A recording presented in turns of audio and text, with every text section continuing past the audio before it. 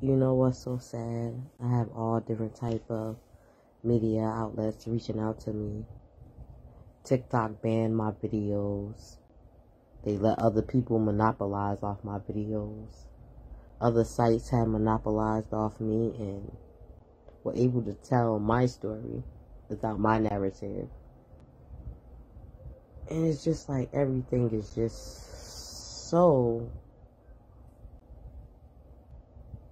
unbelievable. Like, I feel like I'm in the Matrix. I just don't feel like this is really real or happening to me. I know it's real and I know it's happening. Especially after I went to the police station today. That made it like super real.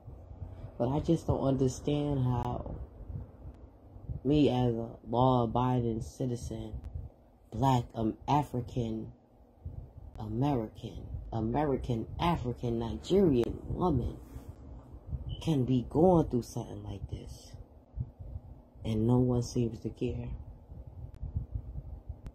Or to right this wrong.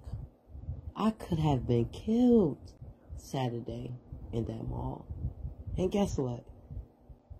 The headlines would have read would have read completely different if I were the aggressor.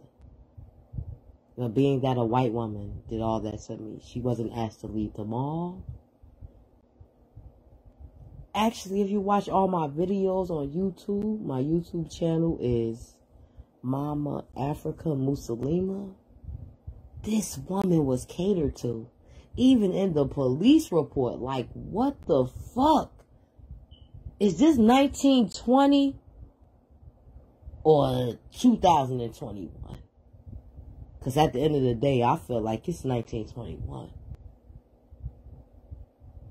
My spirit is broken. It's broken. I, I,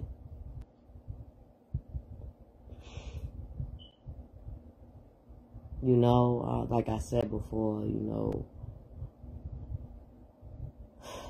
Jersey, you know, we just don't really experience deep racism like other parts of the South may experience, or even like I experienced when I was in Pennsylvania. So,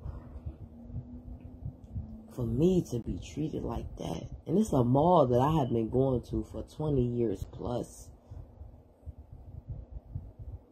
and I will never return. I'm scared to return there. Imagine if me and this woman were in the parking lot. I would have been jailed or killed especially the way she called in a panic and said her heart was racing. I was threatening her, and this could have went a completely and dangerous and deadly different way.